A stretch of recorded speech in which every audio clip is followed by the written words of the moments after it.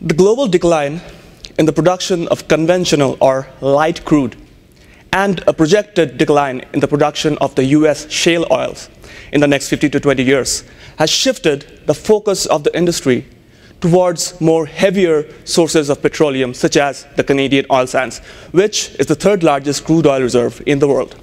However, the oil that occurs in the oil sands comes as this thick, viscous, molasses-like sludge called bitumen, which makes the extraction process extremely energy intensive and not very economically viable.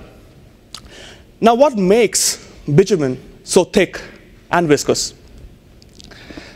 is a class of solids that remain suspended in the bitumen called asphaltenes.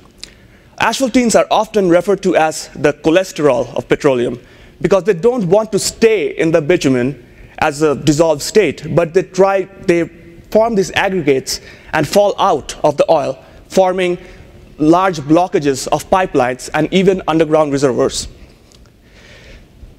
And this dramatically increases the amount of energy and water required to extract the oil out of the ground, and which has an enormous environmental impact in terms of carbon footprint and tailing ponds.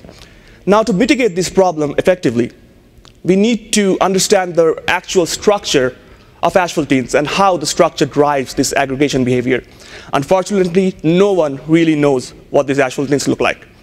For my research, I study the structure of asphaltenes using a technique called nuclear magnetic resonance or NMR spectroscopy. Based on the same principles as the more familiar MRI, in NMR, we take the asphaltenes out of the bitumen, put them in a high magnetic field, and then record the spectrum generated by this interaction of the molecules with the magnetic field. Now, every signal on that spectrum represents a specific chemical environment, which give us the pieces of the structural puzzle.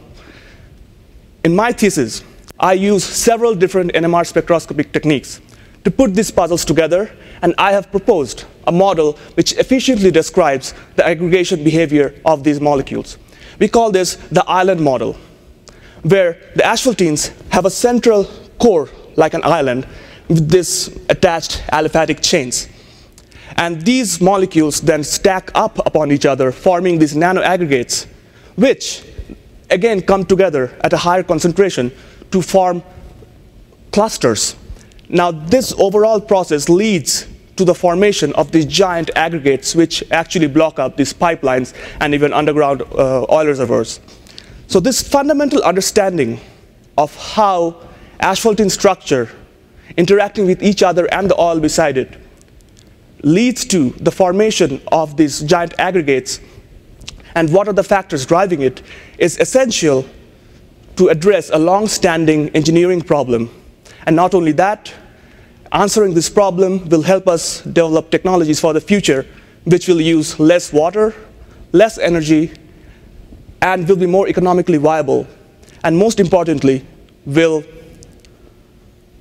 help us mitigate the problems associated with, asphalt, uh, with bitumen extraction and the other environmental impacts that this process has and that we are all familiar with. Thank you.